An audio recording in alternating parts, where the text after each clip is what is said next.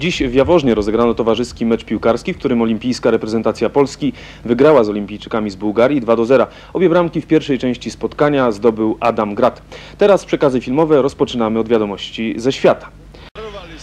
Częściej bywa tak, że zawodnicy niezadowoleni z orzeczeń mają pretensje do arbitra.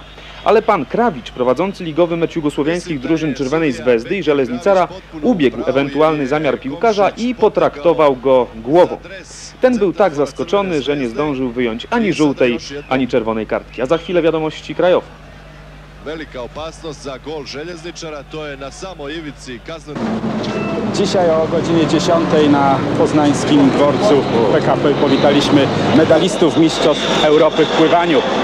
Artura Wojdata i Rafała Szukałek. Wspaniała niespodzianka. No, na pewno nie spodziewałem się, że y, jadąc tam zdobędę chociażby jeden medal. No, wprawdzie myślałem o finałach A, ale nigdy, nigdy nie pomyślałem, że jeszcze teraz, będąc no, jeszcze w miarę młodym zawodnikiem, y, będę mógł zdobyć złoty medal na Mistrzostwa Europy. Jestem oczywiście tak samo bardzo zadowolony. Wygrałem medal na dystansie, na którym najbardziej liczyłem na to.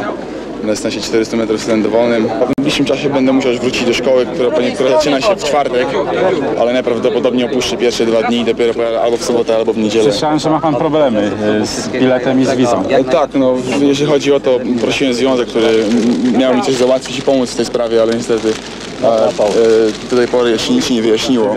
Może teraz, kiedy zdobył pan medal. No może teraz e, Polski byli, Związek obudzi byli się. trochę bardziej przychylni. Dziękuję bardzo, jeszcze raz serdecznie gratuluję. Jutro kolejne sportowe emocje, drużynowy wyścig kolarski o Mistrzostwo Świata, w, w telewizji relacja od 16.35 w programie pierwszym oraz towarzyski mecz piłkarski reprezentacji Polski i Związku Radzieckiego w telewizji w Studiu Sport od 25 w programie pierwszym. Dziś dziękuję, do zobaczenia.